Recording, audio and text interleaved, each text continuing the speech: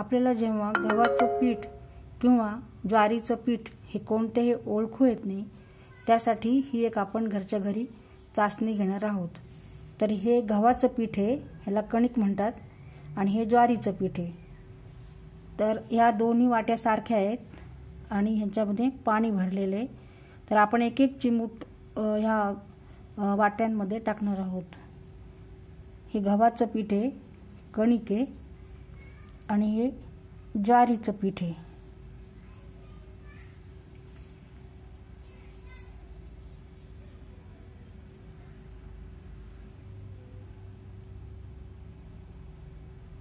तर थोड्या वेळाने आपल्याला ह्या दोन्ही वाट्यामध्ये बुडबुडे दिसणार आहेत.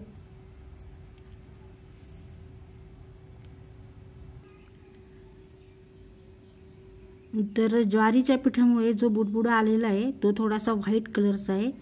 थोडा दुधाळ आहे.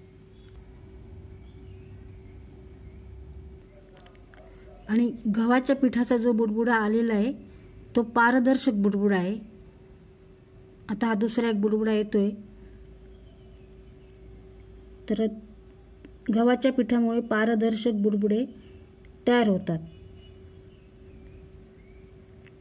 तर ज्वारीच्या पिठामुळे दुधाळ बुडबुडे तयार होतात. तर ह्याच्यावरून आपण असं ओळखू शकतो की हे ज्वारीचं पीठ आहे आणि हे कण कणिके किंवा गव्हाचं पीठ आहे.